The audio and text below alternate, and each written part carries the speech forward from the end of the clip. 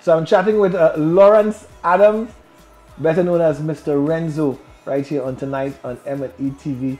Venezuelan born, grew up in Trinidad, exploring the art form soca, mixing it with Latin. So I want to ask you a bit. No, I want to go back a bit um, because we see Mr. Renzo, you know, mm-hmm. this person, this figure out there.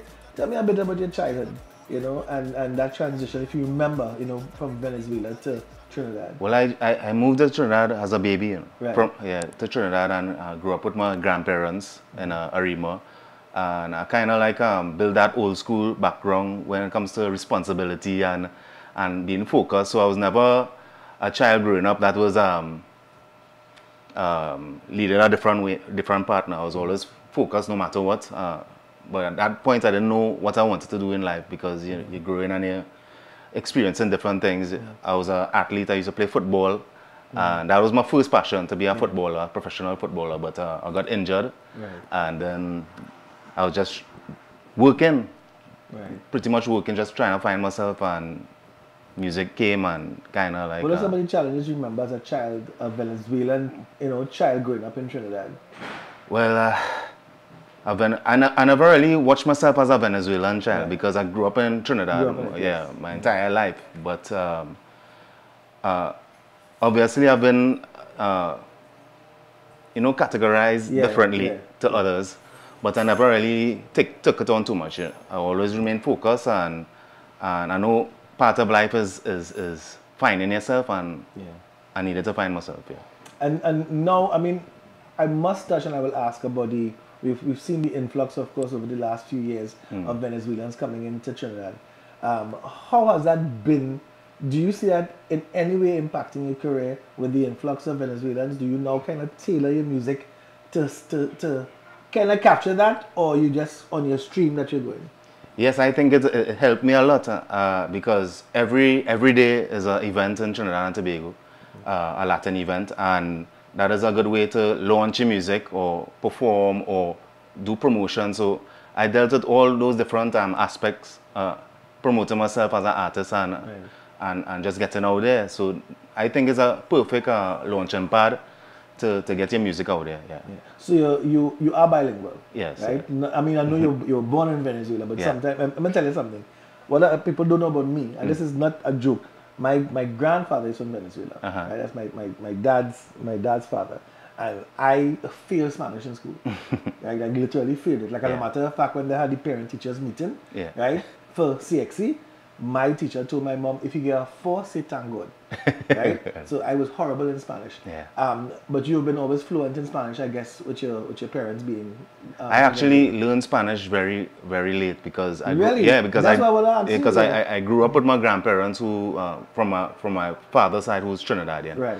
So after I left um, primary school, that is when I learned Spanish. And Going again, into like, boy, even when Yeah, you're supposed to be able to speak Spanish. Yeah. I used to get that. My father. yeah, so I actually learned very late, uh, Yeah. later in my um, life. Yeah. What was the high point of, of, of the career for Mr. Renzo?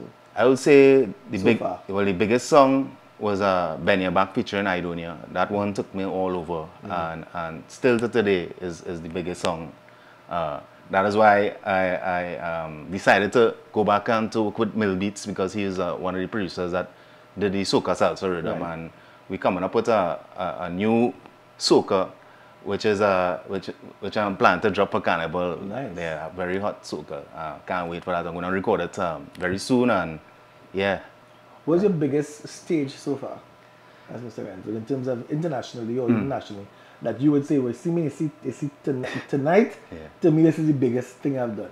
What would, I- what, what, what I've done? biggest thing I done is uh, performing in, a 60,000 uh, crowd in Colombia. That was when I went on tour with Charlie Black because uh, myself and Charlie Black we did a collaboration. So I've been all over Colombia, and when I saw that 60,000 crowd, I was like, wow, this is this is what it feels like. Yeah. But how do you keep grounded though? I mean, because you're good looking, you're a good looking red man, and I know they say, well, big up all the red men. You Hmm. understand that red men ain't good, right? But how, how do you keep grounded? Because I'm sure being an artist, being a musician, Hmm.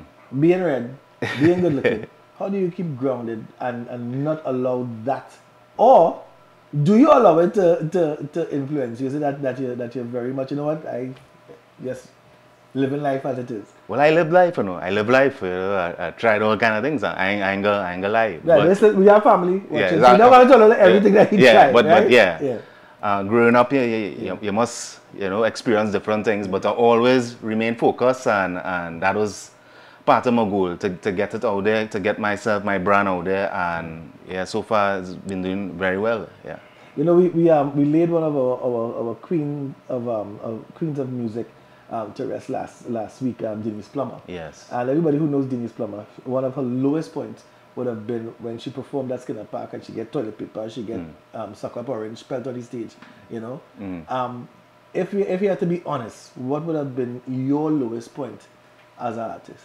My lowest point. well, this is a, a, a funny story. I performed in, a, in an event in South a few years back. Uh, went on after Ricky Ricky um, Jai, and um, I had my set planned out and everything. As I touched on stage, a girl just jumped on stage just so, and um, jumped on me, and then jumped back down, and then um, the crowd was like, like stunned like this now. So I was performing normal. I didn't know what was going on, Yeah. but she was just dancing, so not knowing that um, everything was out. Uh-huh. Yeah. Okay. So, so the people, the people out there, the crowd Wow, thought that was part of my act. Part of your act, yeah, right. So it was like yeah, like blaming you for that. Yeah, they were blaming me for that, and, and I had to cover myself. I said, no, no, that's that's um, a random person in the crowd, and but up to today, people still think that was part of the act. Yeah. But uh, lowest point, I would say, um, it's just the journey into the, the, the music industry, uh, trying to get a new song out.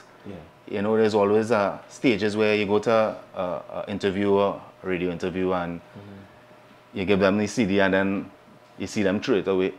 Wow. Yeah, yeah, that could break your heart. And that time I was CD, giving out the CDs and stuff. But I, mm-hmm. I made sure and I, I wait and hide a little bit on what she seen and I saw them throw away the CD saying, nah, this, this ain't gonna make it, boy, this ain't gonna make it.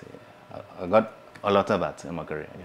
Well, I mean, you really have a career that is, I mean, you- you've been in it for, for over, is about 20 years, is it? Yeah, 20 years, right? yeah. And I know you have a lot more in Yeah, store. Um, thank you so much for, for being with us. I want to leave you with any any parting word you want to leave to people to, to kind of let them know who Renzo really is, something that people may not know about you.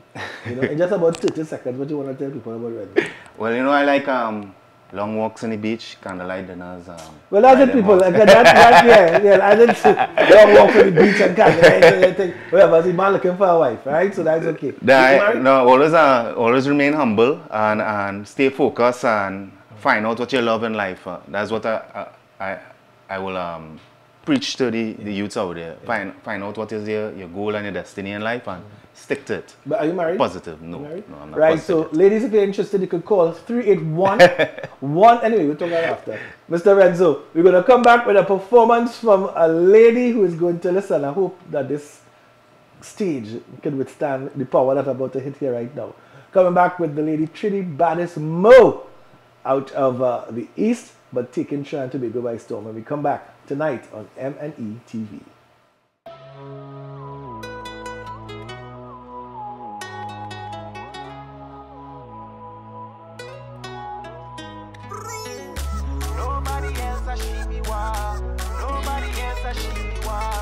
Express love me.